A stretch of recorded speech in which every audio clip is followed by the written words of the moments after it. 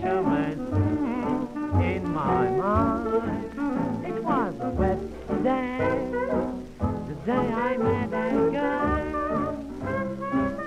She stole my